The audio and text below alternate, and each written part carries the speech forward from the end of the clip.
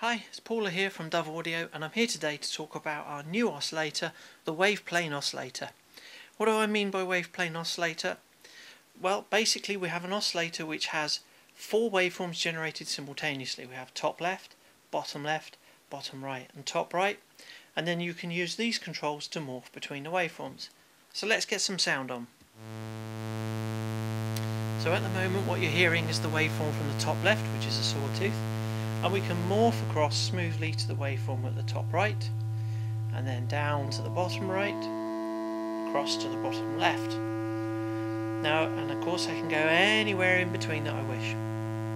Now of course with it being modular it wouldn't be much fun without CVs so here's an LFO and I just plop it into X and we can see it start moving across the X and you can hear the waveform changing. The next trick we plug another one in and we plug it into the Y and we have a waveform that changes around all the four waveforms at the same time. So it gives you this really rich, evolving tone. Now more than this, we can do something else that's really cool with the oscillator. If I unplug these two for the moment and go back down to the bottom left waveform, I can take another LFO, here's an orange one, pop it into the bottom left wave. So each corner waveform has its own wavetable as well. It's completely independent. So if I go across to the bottom right, you'll notice nothing's happening there. Until I plug in another LFO into the bottom right. So if you combine this with the X and the Y as we did before, into the X,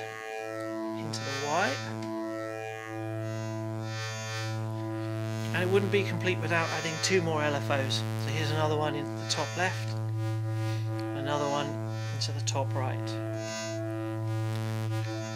And as you can hear, what this lets you do is create a massively complex waveform with constantly evolving wave shapes.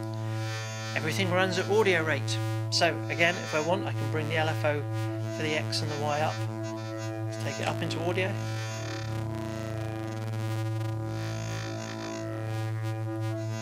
Go and I can do the same with the any of the LFOs. So you can create some complete mayhem or you can have these beautifully slow evolving waveforms like this.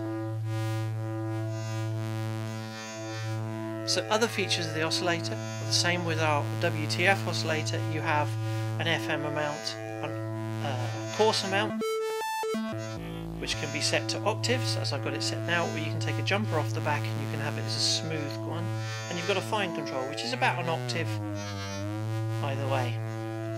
Each wave input has a dedicated CV mount knob you can see underneath so there really is a lot going on here and you can do quite a lot with it.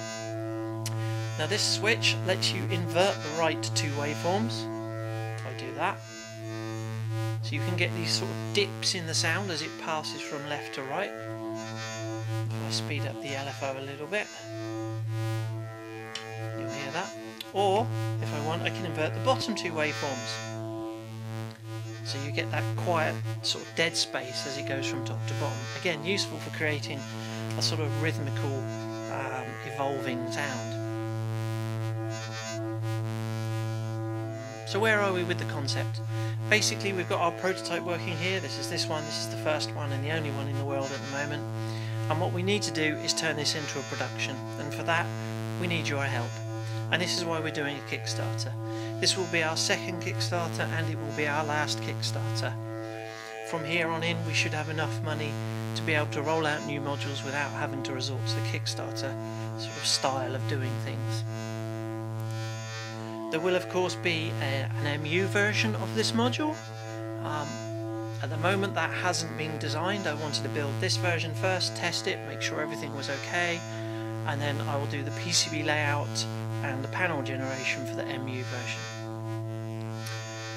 So thank you for listening. We have a number of pledges on offer and we would really, really gratefully appreciate your support and help us to launch this product to the market and bring something new in the way of wavetables to the market.